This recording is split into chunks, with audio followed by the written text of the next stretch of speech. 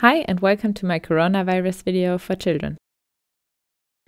I'm sure you've heard a lot about the coronavirus lately, and probably you're already spending a lot of time at home because of the virus. Maybe you're wondering about things like what is a virus and what is so special about the coronavirus? This video should give you an idea about what a virus actually is, what it does, and why everyone is talking about the coronavirus. Viruses are very small. The coronavirus is about a 1000 times smaller than the thickness of a single hair. Hard to imagine, right? That's why they aren't visible with the naked eye. Physicians need special microscopes to actually see them.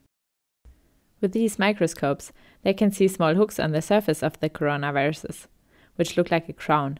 That is why they are called coronaviruses. Corona is the Latin word for crown. Now let's talk about viruses in general. Viruses are, as I said, very small and actually consist only of genetic material and an envelope.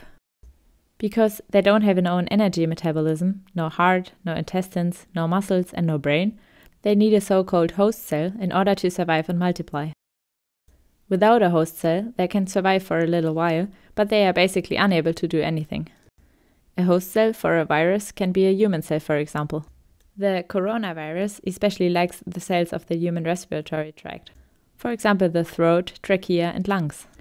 There it settles down on the surface with the help of its small hooks, and then it can even enter the human cells. Once it entered the human cells, it uses the small organs of the human cells in order to multiply. Clever, isn't it?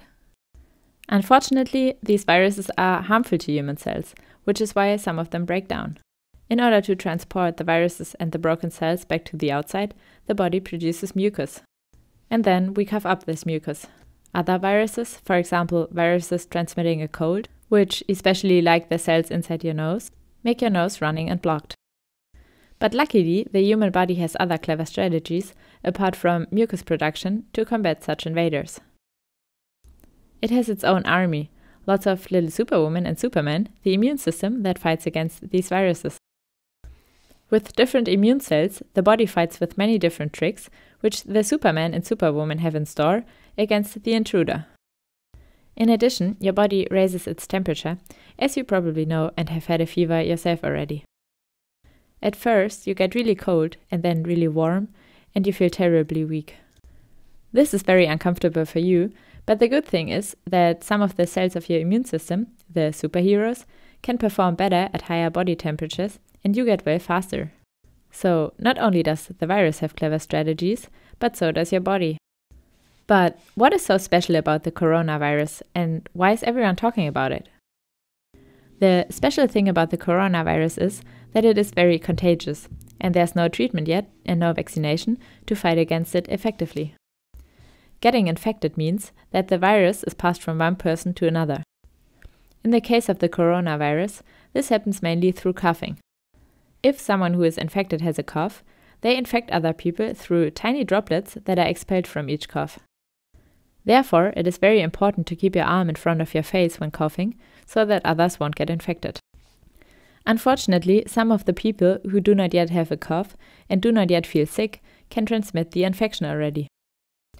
They infect other people with very fine spit particles when speaking.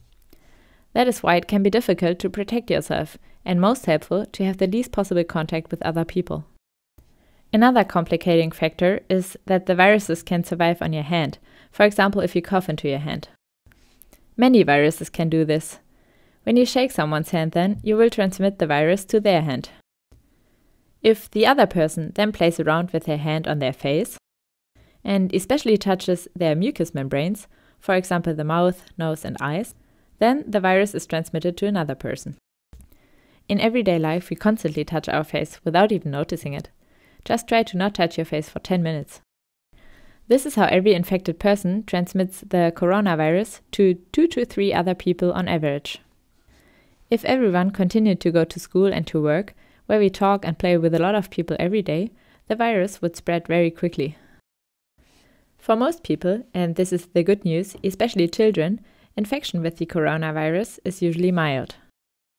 Many children only have a slight cough and feel a little weak. Older people, such as your grandparents, or people who have other diseases, can get very sick from coronavirus. Sometimes they even have to go to hospital and might even need ICU treatment. And because the virus spreads so quickly, it is important to slow down the spread to protect those who could get severely sick. So, what can we do? To slow down the spread of the virus, we must all work together. You're probably already helping out by not going to school. Doing good has rarely been so easy, right? Maybe your parents are also already working from home. You also help by meeting as few people as possible, so it's best to stay at home completely. When you leave the house, for example when you go shopping with your parents, it's important that you keep as much distance as possible to other people, preferably 2 meters, that you touch as little as possible, and that you wash your hands properly and with soap as soon as you get home. If we all follow these rules, we all help together to ensure that the virus spreads more slowly, and that the hospitals, nurses, and doctors won't get overloaded, and that people at risk can be cared for as well as possible. Thank you for watching and listening. If you enjoyed watching the video, I'd be very happy about your likes. And of course, if you share the video with your friends. Bye, see you next time.